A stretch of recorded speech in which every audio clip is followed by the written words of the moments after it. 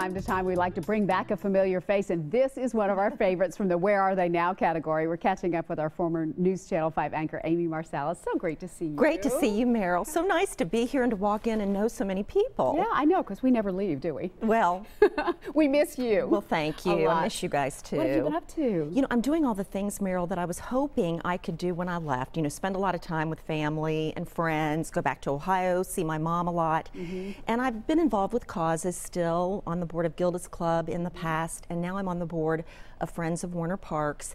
So, you know, involved in promoting good causes Isn't that wonderful town. to have the time to be able to give back? It really is. It really is. But I miss you all and, and, and miss viewers, but I see those people when I'm out and about. Yeah, that's really But nice. I miss everybody here. I do. Well, you're emceeing an event that's coming up that I know is going to be a lot of fun as a girls' night out. It's called Chic Awearness. It Tell sure is. It. Okay, September 21st at this beautiful new restaurant downtown Prima. So lovely, lovely setting fashion from Levy's, and all of the models, most of the models have had ovarian cancer or someone in their family has been touched by ovarian cancer. So they're going to be modeling fall fashions, but then great food and drink, and um, and also getting updated about the latest in ovarian cancer research, and so women know about symptoms because it's it's it's a very very tough disease and with a lot of vague symptoms.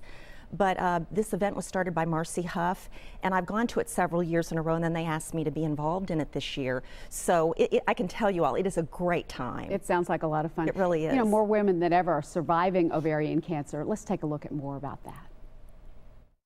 You've been, so far, so good. You've been feeling well since I saw you last yes. time? Good. Mm -hmm. Lorna Kahn is an ovarian cancer survivor. She is among a growing number of women who are living longer with the disease. A recent study from Columbia University Medical Center shows women diagnosed with ovarian cancer are now 50% less likely to die from the disease than women diagnosed decades ago. I know what was done for me and how I, my case was handled, and I feel lucky.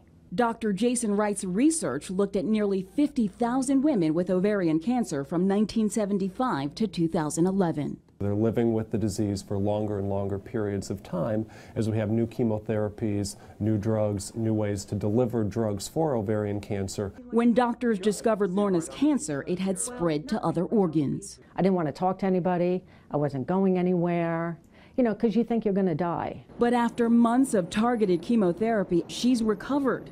There is life after cancer. And while Lorna is not cured, she's now been cancer free for two years.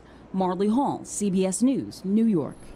And that's the good news. Mm -hmm. Yeah, but still more than 20,000 women are going to be diagnosed with ovarian cancer in the U.S. this year. So it's something we all need to know more about. And this, this kind of event, you know, kind of gives that dialogue puts it out there for more women to be aware of it. And the event has raised $70,000 in two years. They thought it would only raise 5,000 the first year.